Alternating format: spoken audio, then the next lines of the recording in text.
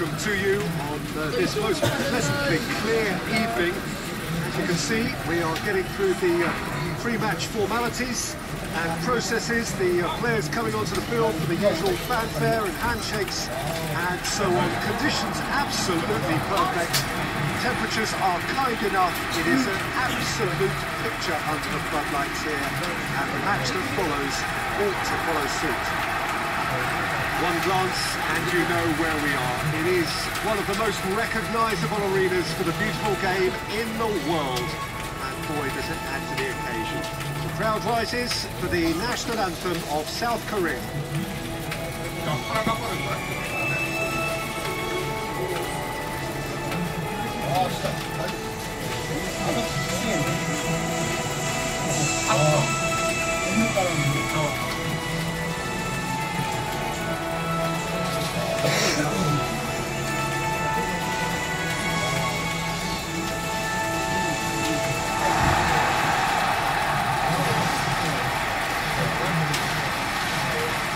It appears to be a 4-4-2 formation, Jim. Well, what I like about this system, Peter, is the way in which both central midfielders have to work in tandem. If one opts to go forward, the other sits, and when one moves either side to snuff out an attack, the other will, will hold the central ground.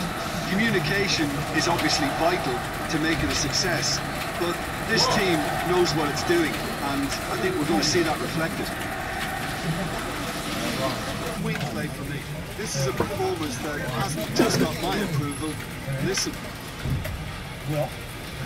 Jim alongside me, and to make their way home, Super sweet. Good evening to